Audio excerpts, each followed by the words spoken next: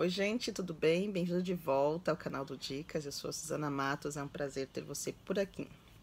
Bom, no último vídeo eu lembro que eu falei para você sobre é, os projetos que a gente elabora, se a gente pode utilizá-los tanto para empresa quanto para governo.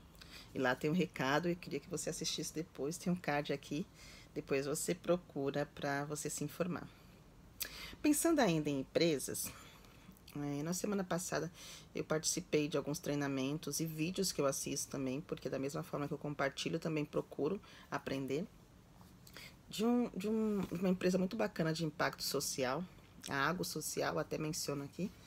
E nós recebemos muitas dicas sobre como chegar nas empresas, né? Algumas coisas são coisas que a gente já conhece, que a gente já compartilhou, mas é sempre bom a gente aprender porque tem sempre coisas novas. Bom, e uma das, uma das dicas que a gente recebeu, que a gente aprendeu, é como chegar nas empresas, né? Como, como é, elaborar uma proposta e fazer uma apresentação para uma empresa. Bem, eu me lembro que a primeira vez que eu, Suzana, fui chamada para participar de uma apresentação da ONG Ação Vida, que eu faço parte de uma empresa, eu levei um PowerPoint enorme, com mais de 20 slides, né?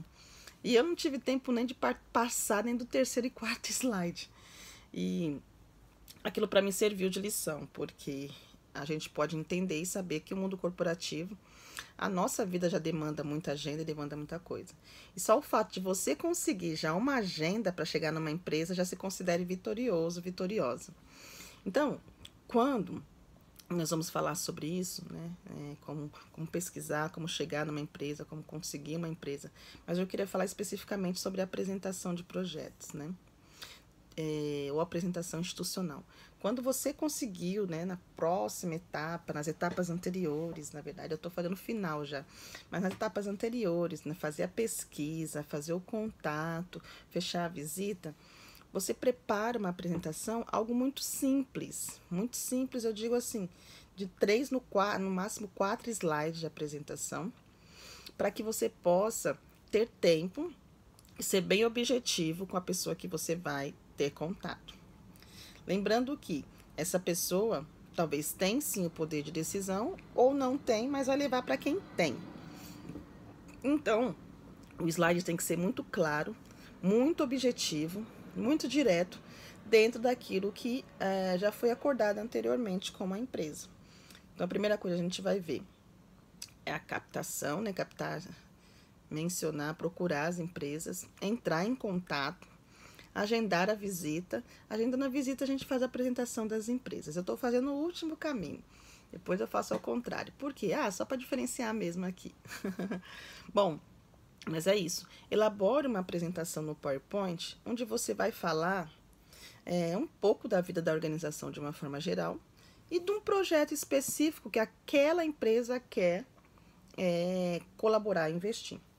Subentende-se que você já teve uma conversa, você já apresentou alguns projetos e a empresa se identificou. Olha, nós hoje estamos atuando nessa causa, na área da educação.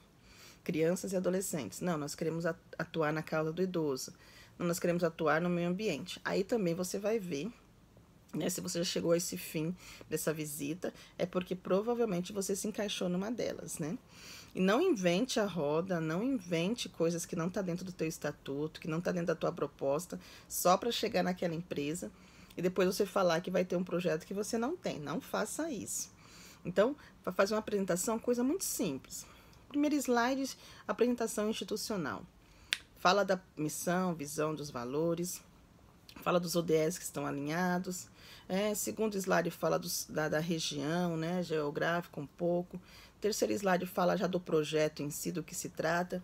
Quarto slide fala do investimento. Qual o valor desse projeto e quanto que você está contando e convidando a empresa para fazer parte. Isso acabou, tá bom?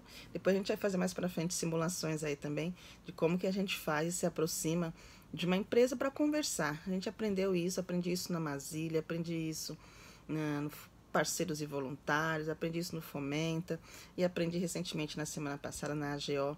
E são coisas boas que é bom a gente sempre estar tá compartilhando com vocês. Então é isso. Tenha em mão sempre material preparado, porque você só vai atualizando, na verdade, esse material para apresentar às empresas. Grande abraço e até o próximo vídeo.